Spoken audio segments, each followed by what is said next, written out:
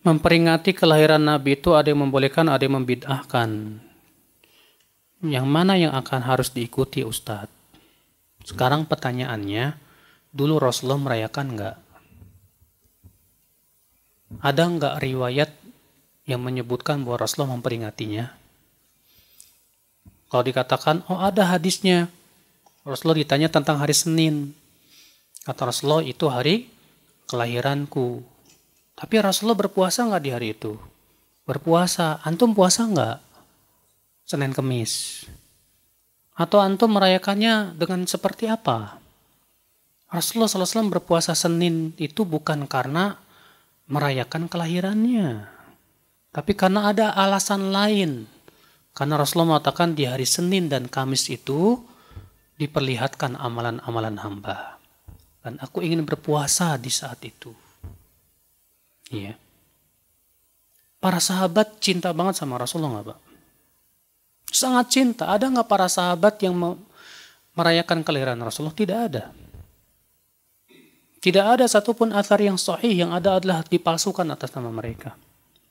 Para tabiin ada, para tabiut tabiin ada, imam yang empat saja, Imam Syafi'i, Imam Ahmad, Imam Abu tidak ada.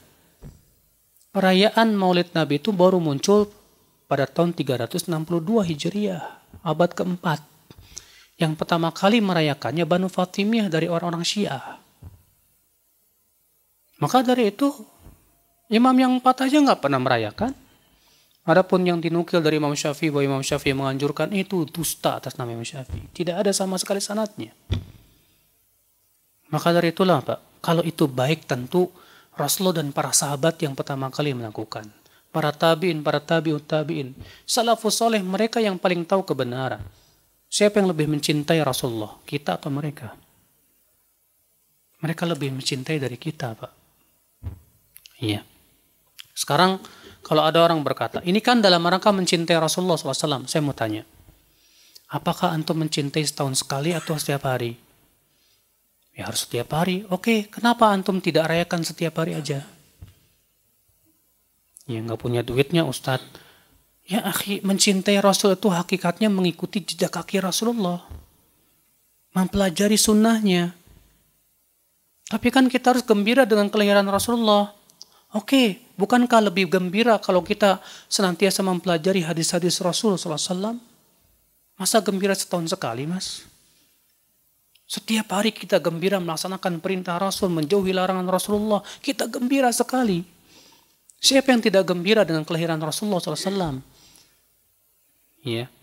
Apakah gembira itu dengan cara membuat syariat yang tidak disyariatkan Rasulullah SAW? Sekarang kalau ada yang mengatakan, tapi kan Sebagian ulama membolehkan seperti Abu Syamah dan yang lainnya. Kita katakan dalam masalah ikhtilaf ulama, dalil itu bukan pendapat ulama, tapi Al-Quran dan hadis Nabi SAW. Yang kedua, hujah itu harus jelas, bukan pendapat ulama. Pendapat ulama bukan dalil.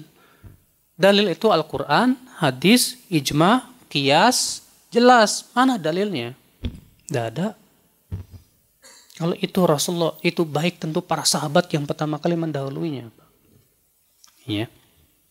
Itu. Tapi bukan berarti ya kita mengatakan oh itu yang apa namanya merayakan mulut pasti neraka ya enggak lah Pak. Itu ya bukan konsekuensinya.